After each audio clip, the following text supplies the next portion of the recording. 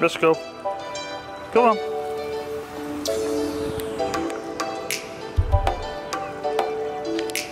Yeah.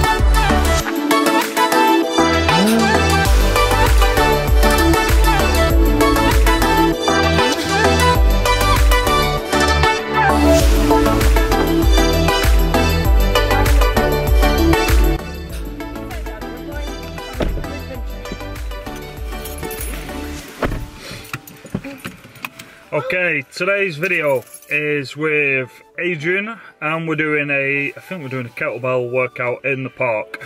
But we have two special guests with us. Molly and Sasha, so God knows how this is going to go. But there's the dog park that we like right next in the same park that we're going to. Yeah, so if we went and take the dogs, we'd probably feel guilty. Okay, right, to the park.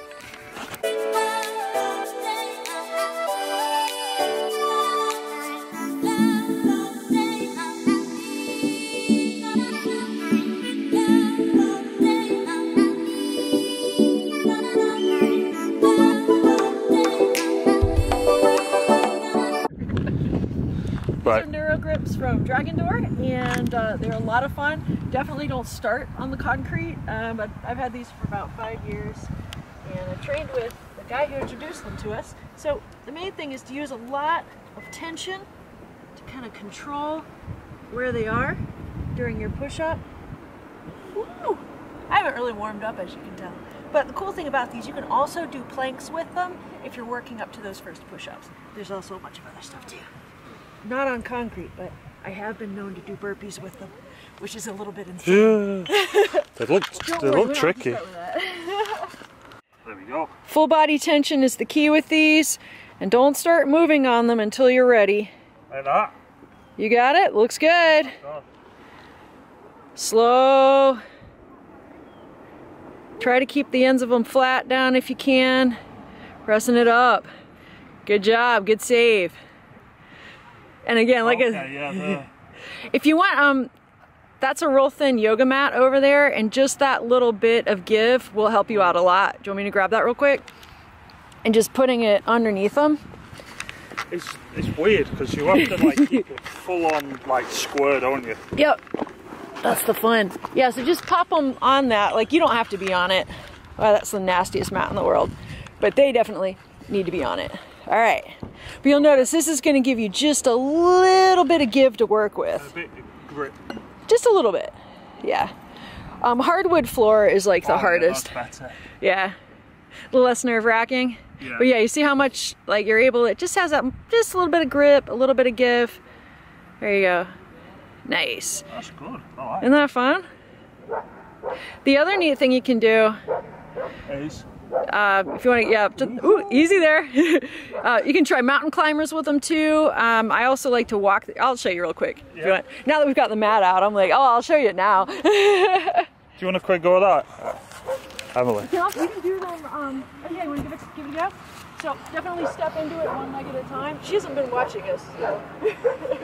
All right. Maybe just yeah. Absolutely. And you know what? It's not that much easier. Yeah. So I'll show you how to like set up for the knees. So from here, you're gonna set them down and then one leg and then the other. Get into that straight, straight plank position.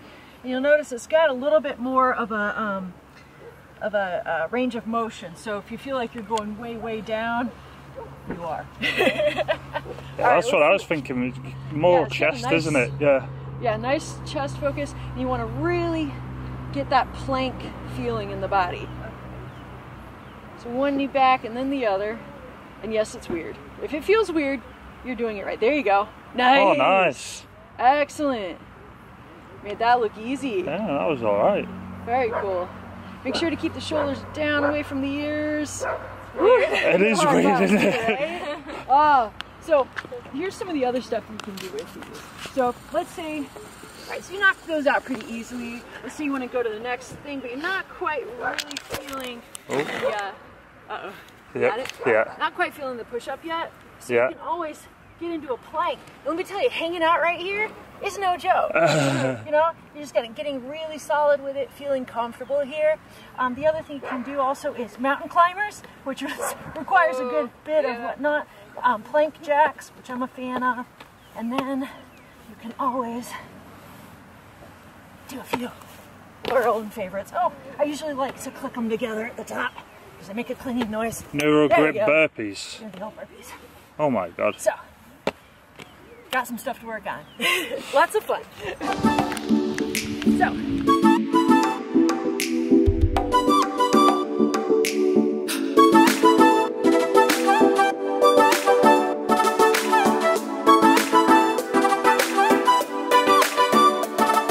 when you set you set them down, So they're not like. Yeah, yeah. You want to just really kind of, and you can see we've marked Do up you that. do? Do you do one thing? Like, is there a way of Um, the way you've got them there. Like is- that? Yeah, is the most typical. Um, there's a, I mean, if you want to mix it up, it's it's interesting. Kind of like starts all over from the beginning. There you go. Pop them up, clink them. That's the hard part.